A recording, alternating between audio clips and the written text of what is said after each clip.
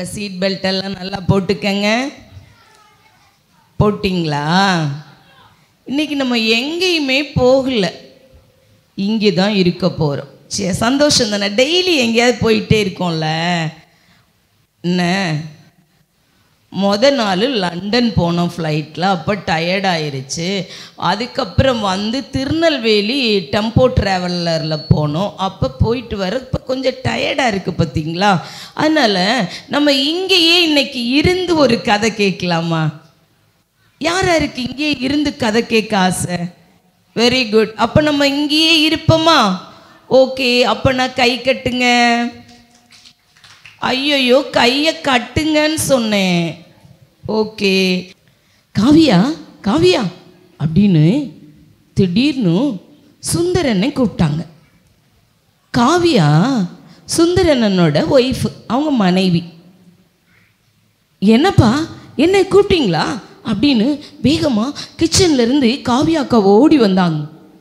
இங்கே பாரு காவியா இன்னைக்கு நான் போய் சுகந்தியை மணலல காப்பகத்திலிருந்து கூட்டிகிட்டு வர போகிறேன் அதனால் நீ என்ன பண்ணுற வீட்டெல்லாம் நல்லா சுத்தமாக வச்சுட்டு நான் உனக்கு ஒரே ஒரு ரெக்வஸ்ட்டு கேட்குறேன் உன்னை ஒரே ஒரு ப்ளீஸ் பண்ணி ஒன்று கேட்குறேன் பத்து வருஷத்துக்கு முன்னாடி சுகந்திய நீ எப்படி பார்த்துக்கிட்டியோ அப்படியே பார்த்துக்க காவியா. அது ஒன்று தான் நீ எனக்கு செய்யணும்னு நான் ரொம்ப விருப்பப்படுறேன் அப்படின்னு சுந்தரனை சொன்னாங்க. சரிப்பா நீங்கள் ஒன்றும் கவலைப்படாதீங்க. ஆனால் அவன் நல்ல சுகமாயிட்டான்ல. டாக்டரு எல்லாமே நல்லாயிட்டுன்னு சொல்லிட்டாங்கல்லப்பா. இங்கே பாரு சோந்தி நான் மாறி மாறி அதே தான் உனக்கு நான் சொல்கிறேன் டாக்டர் சொல்லிட்டாங்க சுகந்தி நல்ல சுகமாயிட்டா. என்ன பத்து வருஷம் ஆச்சு பார்த்தியா அவளை மனநல காப்பகத்தில் கொண்டு போய் விட்டு அதனால் வீட்டுக்கு வரும்போது கொஞ்சம் ஒரு மாதிரி இருக்கும் அவளுக்கு. நம்ம தான் கொஞ்சம் அட்ஜஸ்ட் பண்ணிக்கிறணும். அதனால் நீ காவியா நீ கொஞ்சம் ஹெல்ப் பண்ணணும் அப்படின்னு சொன்னோன்னே சரிப்பா நான் பார்த்துக்கிறேன் அப்படின்னு சொல்லிட்டு காவியாக்கா கிச்சனுக்குள்ளே போயிட்டாங்க. சுந்தரனை ஒரு டாக்ஸ் பிடிச்சி வேகமாக மனநல காப்பகத்துக்கு போனாங்க. அங்கே மனநல காப்பகத்துக்கு போனால் அங்கே சுகந்தியக்கா ஒரு சேலை கட்டி முடியலாம் அப்படி விரித்து போட்டு அக்காவை வெளியில் கூட்டிகிட்டு வராங்க. அண்ணனுக்கு சுந்தரண்ணனுக்கு சுகந்தி அக்காவை பார்த்த உடனே கண்ணீராக வருது. ஏன்னா சுகந்தி அக்கா சுந்தரண்ணன் பிறந்து வருஷம் கழித்து அக்கா பிறந்தாங்க. அதனால் சுகந்தி அக்காவுக்கு சுந்தரன் மேலே ரொம்ப பாசம் இருக்கும். ஒரே தங்கச்சி பத்து வருஷம் கழித்து பிறந்திருக்கா. அதனால சுந்தரனை அக்கா சின்ன குழந்தையா இருக்கும்போது அப்படியே தூக்கி தூக்கி தூக்கி தூக்கி வச்சுட்டு அப்படியே கொஞ்சுவாங்க. ரொம்ப சந்தோஷமாக வச்சுக்குவாங்க சுகந்தி அக்காவை. சுந்தரனனுக்கு சுகந்தி அக்கானா ரொம்ப பிடிக்கும். ஏன்? மனநல காப்பத்துக்கு போனாங்கன்னு தானே கேட்குற சொல்கிறேன் அப்போ அண்ணே ஒரு டாக்ஸ் பிடிச்சி அக்காவை அப்படி தலைலாம் பறக்குது. இப்படி முடியலாம் அங்கங்கே குழம்பி இருக்கு. அக்காவை ஒரு டாக்ஸ் பிடிச்சி அக்காவை ஏற்றிட்டு வந்து சுந்தரனை சுகந்தி அக்காவை வீட்டில் கொண்டு இறக்கி விட்டுட்டாங்க. இறக்கி விட்டா அந்த தெருவில் இருக்கிற எல்லாரும் இப்படி இப்படி பார்க்குறாங்க இப்படி இப்படி பார்க்குறாங்க ஐயோ சுகந்தி வந்துட்டாளா? ஐயையோ சுகந்தி வந்துட்டாளா? அப்படின்னு சொல்லிட்டு சிலர் ஜன்னல் அடைக்கிறாங்க சிலர் கதவு அடைக்கிறாங்க சிலர் பால்கனி வழியா அப்படி லேசாக எட்டி பார்க்குறாங்க. சுந்தரனனுக்கு ரொம்ப கஷ்டமாக இருந்துச்சு. காவியா அக்காவை கூப்பிட்டு காவியா நீ சுகந்திய வீட்டுக்குள்ள சீக்கிரமா கூட்டிட்டு போ. நான் டாக்ஸிக்கு காசு கொடுத்துட்டு நான் வந்துடுறேன்னு சொல்லிட்டு அண்ணன் வேகமாக போய் காசு கொடுத்துட்டு வீட்டுக்குள்ளே வருவாங்களா? சுகந்தியக்கா அப்படியே அந்த சோஃபாவில் உக்காந்துருப்பாங்க. உட்காந்துருந்த ஒரு நேரத்தில் அங்கேருந்து சுந்தரண்ணனுக்கும் காவியா அக்காவுக்கும் பிறந்த இந்திரா அப்படின்னு சொல்கிற அவங்க மக சுந் சுகந்தி அக்காவுக்கு அத் மருமக இவங்களுக்கு அத்தை அண்ணன் பொண்ணு. அவள் அழகாக குளிச்சுட்டு தலையில் துண்டை கட்டிட்டு வேகமாக வருவாங்களா? வந்த உடனே பார்த்துட்டு சுகந்தியத்தை அப்படி சொல்லுவாங்களா? அப்படியே சுகந்தியத்தை தப்புன்னு சோஃபாலே விழுந்துருவாங்க. விழுந்த உடனே ஐயோ ஐயோ என்னாச்சு என்னாச்சு? அப்படின்னு ரெண்டு பேர் ஓடி வரும்போது அண்ணன் சொல்லுவாங்க சுந்தர் பயப்படாதீங்க. டாக்டர் சொன்னார்ல அவங்க இதெல்லாம் பழகுறதுக்கு சுகந்திக்கு இன்னும் கொஞ்ச நாள் எடுக்கும். அதனால் அவங்களுக்கு நீங்கள் முதல் உதவி செஞ்சால் போதும் அப்படின்னு சொல்லிட்டு அப்படியே தண்ணி எடுத்துட்டு சுந்தரனை வந்து அவங்க தங்கச்சி முகத்தில் அப்படியே அடித்து அப்படியே நல்லா தொடச்சி விட்டுட்டு தலையை தூக்கி ம அண்ணனோட மடியில் வச்சு படுக்க வச்சு தலையை இப்படி வருடி விட்டுக்கிட்டே இருப்பாங்களா? அப்படியே அக்கா முழிச்சிருவாங்க. முழிச்சிட்டு சுகந்தி அக்கா கேட்பாங்க அண்ணே நான் உனக்கு ரொம்ப பாரம் அப்படி கேட்பாங்க சே சே சே நீ எனக்கு செல்லமான தங்கச்சி. நீ எப்படி எனக்கு பாரமாவும் நீ அப்படிலாம் சொல்லக்கூடாது. நீ நல்லா இருவ சுகந்தி. நீ உனக்கு நல்ல சுகத்தை ஏசப்பா கொடுத்துருவாங்க. அதனால் நீ பயப்படாத. உனக்கு அண்ணன் இருக்கன்ல. அண்ணன் உன்னை எப்படினாலும் நான் பார்த்துக்குருவேன். இல்லைண்ணே உனக்கு இப்போ பார்த்தா நாற்பத்தஞ்சு வயசான மாதிரி இருக்கண்ணே நீ. அப்படி முடியலாம் உனக்கு நரைச்சிருக்குதுண்ணே என்னால் தானண்ணே நீ என்னால் ரொம்ப கஷ்டப்பட்டியானே இல்லை சுகந்தி நான் அண்ணன் நல்லா இருக்கேன். நான் அண்ணன் நல்லா இருக்கேன் நீனு நல்லா இருக்கணும். அண்ணன் உன்னைய ரொம்ப நல்லா பார்த்துக்குருவேன் அப்படின்னு அண்ணன் சொல்லிட்டு அப்படியே அக்காவை தூங்க வச்சுட்டு காவி அக்காவை கூப்பிட்டு சொல்கிறாங்க காவியா நீ சுகந்தியை பார்த்துக்கோ.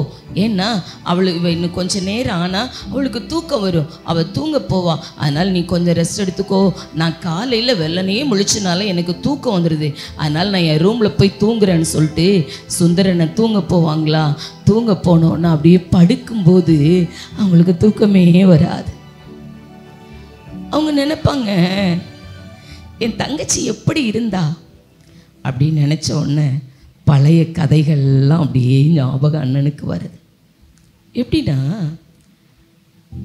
சுகந்தியக்கா ஒரு பதினாலு வயசு பதினஞ்சு வயசு அப்படி இருக்கும்போது ஒரு நாள் ஸ்கூலுக்கு போய் அப்படி போயிட்டு ரொம்ப சந்தோஷமாக இருப்பாங்களா? சந்தோஷமாக இருக்கிற நேரத்தில் அப்போ சுகந்தியக்காவுக்கு அம்மா அப்பா எல்லோரும் இருப்பாங்க. ரொம்ப சந்தோஷமாக இருக்கும் அவங்க குடும்பம். ரொம்ப மகிழ்ச்சியாக இருப்பாங்க. திடீர்னு ஒரு நாள் சுகந்தி அக்கா வந்து சொன்னாங்க சுந்தரனன்ட்ட அண்ணா அண்ணன் நான் ஒருத்தரை காதலிக்கிறேன். அவர் பேர் மதன் அப்படின்னு சொன்னாங்க. என்ன சுகந்தி சொல்கிற அது யாருன்னே நமக்கு தெரியாது. நீ அவங்கள போய் காதலிக்கிறேன்னு சொல்கிறேன் நம்ம வீட்டுக்கு அது ஒத்து வருமா? அல்லது அவங்க தான் உன்னை ஏற்றுக்குவாங்களா அவங்க அம்மா அப்பா அவங்கள ஏற்று உன்னை மருமகளாக ஏற்றுக்குவாங்களா நீ என்ன அப்படி சொல்கிற இல்லைண்ணே நான் கட்டுனா நான் மண் மதனை தான் கட்டுவேன் அப்படின்னு ஒரே சண்டை வீட்டில். அம்மா சொல்கிறாங்க சுந்தர் நீ என்னைக்கு சுகந்திக்கு ரொம்ப செல்லம் கொடுத்தியோ அந்த செல்லம் தான் இப்படி வந்து நிற்கிது பாரு அப்படின்னு சொல்கிறாங்க இல்லைம்மா ஆ, தங்கச்சி சரியாயிருவா அப்படின்னு சொல்லிட்டு இது ந அவளை நம்ம பேசிடுவோம் அவளுக்கு நல்லா பேசி புத்தி சொன்னால் சுகந்தி நல்லாயிருவா அப்படின்னு அப்பா அண்ணன் சொன்ன உடனே அண்ணி இருக்காங்க பற்றியா காவியா. அவங்க வந்து சொல்கிறாங்க சரி சரி ஏன் ரொம்ப குழம்புறீங்க? பையனும் நல்ல வேலை பார்க்குறான்னு சொல்கிறாங்க குடும்பத்தில் நம்ம விசாரித்து பார்ப்போமே. நம்ம விசாரிச்சோன்னா அவங்க ஒரு வேலை கட்டித்தரேன்னு சொன்னால் கட்டிட்டு போகிறாங்க அப்படின்னு சொல்லிட்டு இவங்க அந்த மதனுக்கு ஃபோன் பண்ணுறாங்க அண்ணன் அண்ணன் ஃபோன் பண்ணால் அவங்க எடுத்துட்டு ஆ கண்டிப்பாக நான் உங்கள் தங்கச்சியை கண்டிப்பாக கல்யாணம் பண்ணிக்கிறேன். நீங்கள் ஒன்றும் யோசிக்காதீங்க அப்படின்னு மதன் அண்ணன்னு சொல்லிட்டாங்க. அப்படி மதன் வீட்டுக்கு வருவாங்க. இவங்க வீட்டில் காஃபி சாப்பிடுவாங்க. இப்படி இருந்துகிட்டு இருக்கும்போது ஒரு நாள் மதனண்ணன் என்னப்பா நீ கல்யாணத்துக்கு என்னவே பேச மாட்டேக்க? அப்படின்னு சொன்னோடனே அவங்க நான் எங்கள் அம்மாட்ட கேட்டேன். எங்கள் அம்மா அதுக்கு சம்மதிக்க மாட்டுக்கிறாங்க. அப்படின்னு சொல்லி சொல்கிறாங்க சம்மதிக்க மாட்டுக்காங்களா? அப்படின்னு கேட்டுட்டு இருக்கும்போதே அவங்க அம்மா வந்துட்டாங்க. மதன் அண்ணனுடைய அம்மா வந்துட்டாங்க இவங்க வீட்டுக்கு. இங்கே பாருங்க எனக்கு சின்ன வயசுலேயே நான் என் வீட்டுக்காரர் இறந்து போயிட்டாரு. என் என்னையும் என் பிள்ளைகளையும் யாருமே பார்க்கல. எங்கள் சொந்தக்காரவங்க தான் எங்களை பார்த்து கூட்டி வச்சு அரவணைச்சு சோறு போட்டு உடுத்துறதுக்கு ட்ரெஸ் கொடுத்து என் மகனை படிக்க வச்சு இவ்வளோ பெரிய வேலை பார்க்குறதுக்கு என் மகனுக்கு இவங்க எங்கள் சொந்தக்காரங்க தான் ஆறு ஆதரவாக இருந்திருக்காங்க. நான் உங்கள் பிள்ளைய என் மகனுக்கு பொண்ணாக எடுக்க மாட்டேன். நான் என் சொந்தக்காரங்களில் ஒருத்த ஒரு பிள்ளையை தான் நான் எடுப்பேன். அதனால் இந்த கல்யாணம் நடக்காது. உங்கள் மகளை நான் என் வீட்டுக்கு எடுக்க மாட்டேன் அப்படின்னு சொல்லிட்டு மதனன் அம்மா வேகமாக போயிட்டாங்க. அப்படியே சுந்தரியக்காவுக்கு ஒரு மாதிரி ஆயிடுச்சு. சுகந்தி அக்காவுக்கு அப்படியே ஒரு மாதிரி வந்துருச்சு. இப்படி இருக்கும்போது மதன் என்ன சொல்கிறாங்க நீ பயப்படாத சுகந்தி எப்படினாலும் நான் எங்கள் அம்மாவை சமாதானப்படுத்தி நம்ம ரெண்டு பேரும் கல்யாணம் பண்ணிக்கலாம். அப்படின்னு சொல்லிட்டு இருக்கும்போது ஒரு நாள் அக்கா ஷாப்பிங் போவாங்களா? ஷாப்பிங் போன இடத்துல டிராஃபிக்கில் ரோட்டை அந்த பக்கம் தாண்டும் போது அப்படியே ஆக்சிடெண்ட் ஆகி கீழே விழுந்துருவாங்க. திடீர்னு சுந்தரண்ணனுக்கு ஒரு ஃபோன் வரும். உங்க தங்கச்சிக்கு ஆக்சிடென்ட் ஆயிட்டு நீங்க உடனே இந்த ஹாஸ்பிட்டல் வாங்க அப்படின்னு சொன்னோன்னே அண்ணன் வேகமாக ஹாஸ்பிட்டல் போனா அங்க சுந்தரி அக்காவுக்கு பெட்ல படுக்க வச்சு இங்கெல்லாம் அப்படியே ரத்தமா இருக்கு. எல்லாம் போட்டு வச்சிருக்காங்க. அப்போ டாக்டர்கிட்ட கேட்காங்க டாக்டர் என் தங்கச்சி பொழைச்சிக்குவாள்ல என் தங்கச்சி பொழைச்சிக்குவாள்ல? அப்படின்னு கேட்டோன்னே அவங்க சொல்கிறாங்க இல்லை ரொம்ப பெரிய அடி ஒன்றும் இல்லை. ஆனால் மூளைக்கு போகிற ர- நரம்பில் ரத்தம் என்ன செஞ்சிருக்கு உங்கள் தங்கச்சிக்கு? உறைஞ்சு போயிருக்கு. ஒருவேளை அதை ஆப்ரேஷன் பண்ணுற மாதிரியும் வரலாம். இல்லைன்னா மெடிசன்ஸ் கொடுத்து டேப்லெட்ஸ் எல்லாம் கொடுத்து உங்கள் தங்கச்சியை சுகமாக்கவும் செய்யலாம். நீங்கள் உங்கள் கடவுள்கிட்ட வேண்டிக்கோங்க. அப்படின்னு சொல்லிட்டாங்க. ஒரு வாரம் அவங்க ஹாஸ்பிட்டலில் இருக்காங்க. மதன் அண்ணன் வாராங்க பார்க்குறதுக்கு மதனண்ணன் பார்க்க வந்தா மதனண்ணன் சொல்கிறாங்க சுகந்தி நீ ஒன்றும் கவலைப்படாத. நாளைக்கு நம்ம ரெண்டு பேரும் போய் ஒரு கோயிலில் நம்ம என்ன செஞ்சுருவோம்? கல்யாணம் பண்ணிக்குவோம். அதுக்கப்புறம் எங்கள் அம்மாவை நான் எப்படியாவது அட்ஜஸ்ட் பண்ணிக்கிறேன். அப்படின்னு சொல்லிட்டு நீ நாளைக்கு கல்யாணத்துக்கு மட்டும் ரெடியாக இரு. அப்படின்னு சொல்லிட்டு போயிட்டாங்க. அதோட சுகந்தியக்கா நல்ல ட்ரெஸ் பண்ணி நீட்டாக பொண்ணு மாதிரி நல்லா அலங்காரம் பண்ணி அக்கா ரெடியாக இருப்பாங்களா? மதன் வரவே மாட்டாங்க. ஒரு ஃபோன் வரும். அவங்க அண்ணனுக்கு ஆ நீங்கள் சுகந்தி அண்ணன் தானே பேசுகிறீங்க ஆமாம் நான் கல்யாணத்துக்கு சுகந்தியை கல்யாணம் பண்ணிக்கணும்னு புறப்பட்டு வரும்போது எங்கள் அம்மா தற்கொலை பண்ணிக்க போயிட்டாங்க. அதனால் என்னால் அவளை கல்யாணம் பண்ணிக்க முடியாது அப்படின்னு சொல்லிட்டு ஃபோனை வச்சுட்டான். இந்த சத்தத்தை கேட்ட உடனே அக்காக்கு சுகந்தி அக்காக்கு தாங்க முடியல. அமைதியாயிட்டாங்க. யார்கிட்டையும் பேச மாட்டாங்க. அப்படியே அமைதியாக இருப்பாங்க. ஹாஸ்பிட்டல்லேருந்து டிஸ்சார்ஜ் ஆகி வீட்டுக்கு வந்தாச்சு. வீட்டுக்கு வந்தா அக்கா என்ன பண்ணுவாங்கன்னா பகலெல்லாம்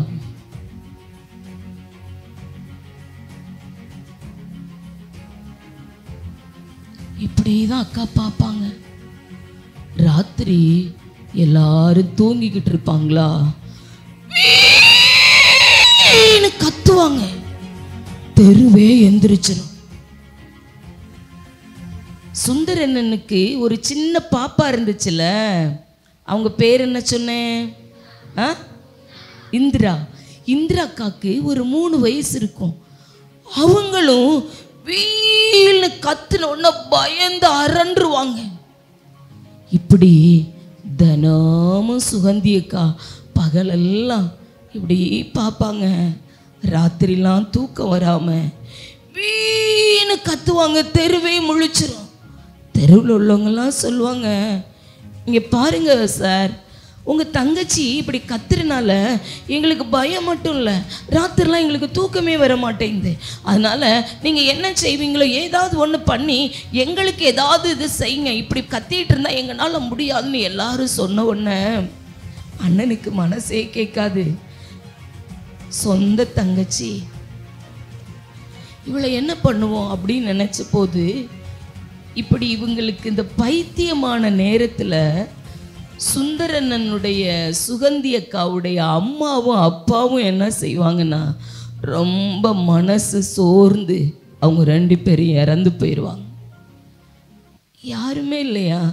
என் தங்கச்சியை கொண்டு நான் எங்கே விடுவேன்? அப்படின்னு யோசிச்சுட்டு இருக்கும்போது ஒரு டாக்டர்கிட்ட கூட்டிகிட்டு போவாங்க. சுகந்தி அக்காவை அப்போ டாக்டர் சொல்வார் இது ஆக்சிடெண்ட் ஆகும்போது உண்டான அதிர்ச்சியாக கூட இருக்கலாம். அல்லனா சீராய்டு கொடுத்தனால ரொம்ப அதிக டோஸ் கொடுத்தனால கூட இந்த மனநல பாதிக்கப்பட்டு இருக்கலாம் இல்லைனா அதிகமான மன அழுத்தம் இருக்கிறனால கூட உங்கள் தங்கச்சிக்கு இப்படி இருக்கலாம். இப்போ அது கொஞ்சம் மைல்டாக தான் இருக்குது கொஞ்சம் லேசாக தான் இருக்குது நீங்கள் ஒரு மனநல காப்பகத்தில் கொண்டு விட்டீங்கன்னா உங்கள் தங்கச்சிக்கு சுகமாயிரும் அப்படின்னு அந்த டாக்டர் சொன்னனால அந்த தங்கச்சியை கொண்டு பத்து வருஷத்துக்கு முன்னாடி அண்ணன் விட்டுட்டு வந்த காட்சி தான் அத்தை உங்களுக்கு முன்னாடி சொன்னது.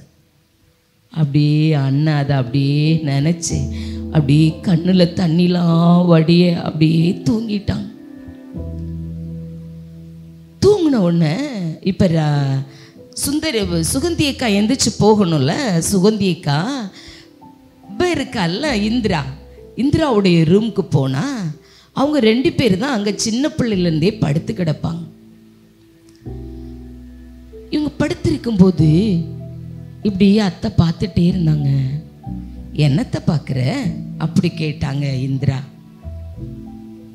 உன்கிட்ட ஃபோன் இருக்கா? அப்படி கேட்டாங்க சுகந்தி அக்கா.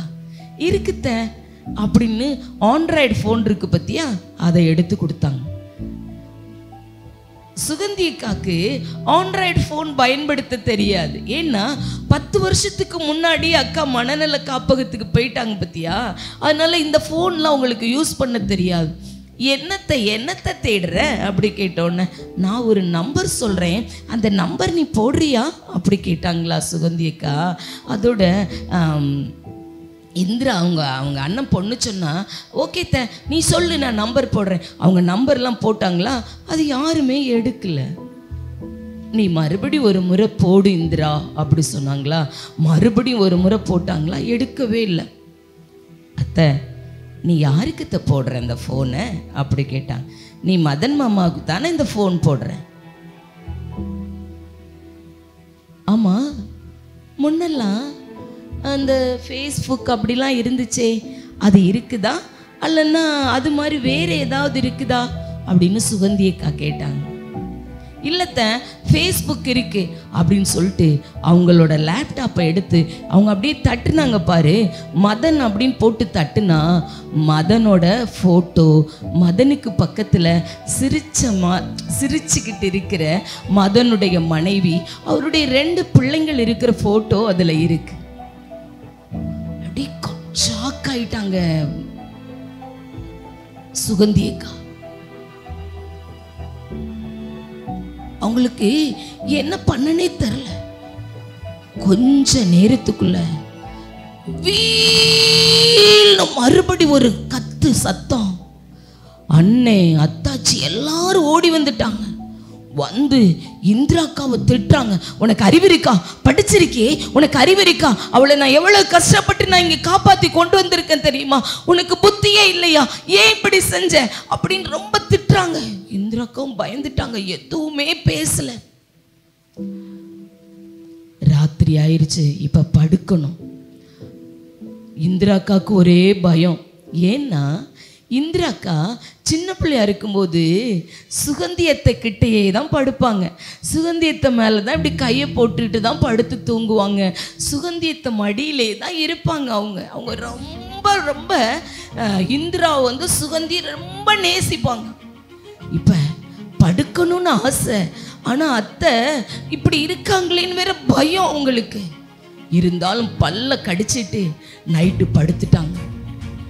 படுத்தா அப்படியே தூங்கிட்டு இருக்காங்க. அப்படியே இந்திராக்கா வழக்கம் போல அவங்க அத்தை மேல அப்படி கை போட்டாங்க. கை போட்டு ஒரு ரெண்டு நிமிஷம் கழிச்சு பார்த்தா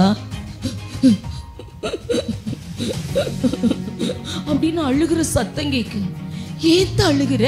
ஏத்த அழுகிற? ஏத்த அழுகிற? அப்படின்னு இந்திராக்கா கேட்ட உடனே அப்ப சுகந்தியத்தையும் இந்திராவும் எந்திரிச்சு உட்காந்துட்டு சுகந்தியத்தை சொல்றாங்க இந்திரா ஒரு நிமிஷத்துக்குள்ள எல்லாமே மாறி போச்சுல்ல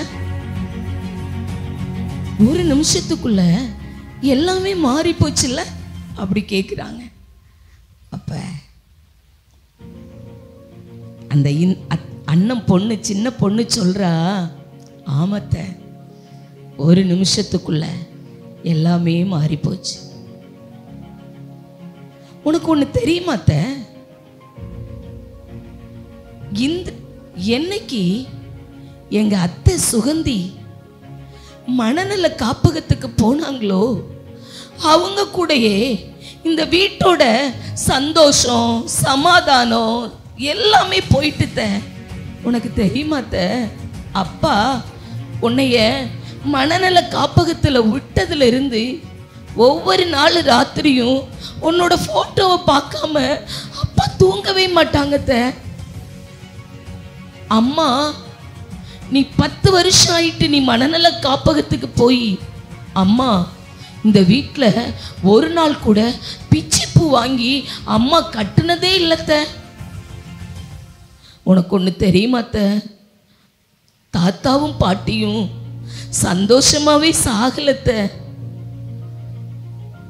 நான் ரொம்ப நாள் ஆச்சுத்தேன் உன் தோளில் சாஞ்சு நம்ம வீடு பூரா ஓடி ஓடி விளையாண்டு நீ எனக்கு கிச்சு கிச்சு காட்டி பெயிண்ட் எல்லாம் சுவரில் இருந்த பெயிண்ட் எல்லாம் நீ அரைக்கி இறக்கி என் கன்னத்தில் பூசின அந்த சந்தோஷம்லாம் போயிருச்சுத்த ஆனால் நீ நினைக்கிறத மதன் மாமா மட்டும்தான் உனக்கு சந்தோஷம். ஆனா அந்த மதன் மாமாவை பாரு அவரு அவருடைய விருப்பப்படி அவர் போயிட்டாரு. அவங்க அம்மா சொன்னாங்கன்னு கேட்டு போயிட்டாரு பாரு. ஆனா நீ இன்னும் மதன் மாமாவையே நினச்சி எங்களெல்லாம் நீ நினைக்க மாட்டுக்கல்லத்த அத்தை. உனக்கு ஒன்று சொல்கிறேன் த நான் பெரிய ஆள் இல்லை. நான் உனக்கு பெரிய ஆள் இல்லைத்த ஆனா பாரேன் இந்த வீட்டுக்குள்ள இந்த சுந்தரிய இந்த சுகந்திய சுகந்தியத்தை இல்லாததுனால எங்களுக்கு ஒரு சந்தோஷம் இல்லை. நீ பார்த்த உனக்கு ஒரே ஒரு சந்தோஷம்தான் மதன் மாமா. ஆனால் எங்களுக்கு என்னென்ன சந்தோஷம் தெரியுமா? எங்கள் சுகந்தியத்தை சந்தோஷம் எங்கள் தாத்தா சந்தோஷம் எங்கள் பாட்டி சந்தோஷம் எங்கள் அப்பா சந்தோஷம் உன் மருமக சந்தோஷம் உன் அத்தை சந்தோஷம் எல்லாமே போயிருச்சுத்த அப்படின்னு சொன்னோன்ன சுகந்தியத்தைக்கு ஒரே அழுக அழுதுட்டு சொல்கிறாங்க இந்திரா இந்த இதெல்லாம் நடந்திருப்போது என்னோட நெஞ்சில் கல்லை வச்சு அடித்த மாதிரி இருந்தது. பாரம் கல்லை வச்சு அடித்த மாதிரி இருந்தது. அதனால தான் எனக்கு இப்படி ஆயிடுச்சு நீ தூங்கு தூங்கு அப்படின்னு சொல்லிட்டு அவங்கள தூங்க வச்சுட்டு காலையில் விடியறதுக்கு முன்னாடியே சுகந்தியத்தை எந்திரிச்சாங்க. வழக்கமாக போய் குளிக்கிறது போல அழகா குளித்தாங்க குளிச்சுட்டு ஒரு அழகான சுடிதர் ஒன்று போட்டுட்டு வந்து அவங்க அண்ணி காவியா இருக்காங்க பத்தியா? காவியாட்ட போய் கேட்டாங்க. அண்ணி முல்லை பிச்சைப்பூ இருக்குதா? இல்லைன்னா நீங்கள் சாயங்காலம் வாங்குங்க அண்ணி. நான் கட்டி அழகா உங்களுக்கும் எனக்கும் வச்சுக்கிறேன் அண்ணி அப்படின்னு சொன்னாங்களா? வீடெல்லாம் ரொம்ப சந்தோஷமாயிட்டு. இந்த கதையிலேருந்து உனக்கு நான் என்ன சொல்கிறேன் தெரியுமா? இன்னைக்கு இங்கே நீங்கள் நிறையா பேர் இருக்கிறீங்க பாரு. உனக்கு உன்னோட சந்தோஷம்தான் பெருசு. எனக்கு ட்ரெஸ்ஸு வேணும். நான் அவங்க வீட்டுக்கு போகிறேன் நான் இவங்க வீட்டுக்கு போகிறேன் இப்போ நிறைய பெரிய பிள்ளைங்க இருக்கிறீங்க. உனக்கு பிடிச்சமான ஒன்று தான் வேணும் அப்படின்னு நினச்சி அம்மாவை துக்கப்படுத்துறியா? அப்பாவை துக்கப்படுத்துறீங்களா? கூட பிறந்தவங்களை துக்கப்படுத்துறீங்களா? ஆனால் உனக்கு ஒன்றே ஒன்று நான் சொல்கிறேன் எந்த உணர்வும் உனக்கு இருக்கிற சந்தோஷம் ஒன்று தான் சந்தோஷம் இல்லை. அன்பு ஒரு சந்தோஷம். நீ காதலிக்கிறேன்னு சொல்ற பத்தியா? அதுவும் ஒரு சந்தோஷம்தான் ஆனா இது எல்லாத்தையும் விட உன்னை நேசிக்கிற உன் அம்மா அப்பாவுடைய நேசம் இருக்கு பத்தியா? அது பெரிய சந்தோஷம். அதை விட உனக்கு சொல்றேன் உன்னை என்னையும் ரட்சிக்கிறதுக்காக ஆண்டவராகிய இயேசு கிறிஸ்து இந்த பூமிக்கு வந்து உனக்காக எனக்காக ஜீவனை கொடுத்தார் பத்தியா? அது ரொம்ப ரொம்ப சந்தோஷம். அந்த சந்தோஷத்தை நீ மதிக்கணும். அதை தான் இந்த கதை உனக்கு சொல்லு. இன்னைக்கு இப்படி நீங்கள் நான் பிடிச்சது தான் எனக்கு நான் பிடிச்சது தான் எனக்கு வேணும். நான் விரும்பினது தான் எனக்கு வேணும். நீ கடன் வாங்கியாவது தா. இல்லைன்னா நான் அந்த வீட்டுக்கு போவேன். அவனோட தான் பேசுவேன். அவளோட தான் பேசுவேன். அப்படின்னு நீ சொன்னேன்னு வச்சுக்கோயேன். வாழ்க்கையில் எப்போ என்ன நடக்கும் தெரியாது. அதனால் சுந்தரி அக்காவுடைய வாழ்க்கை போல உன் வாழ்க்கை என் வாழ்க்கை இருக்கக்கூடாது.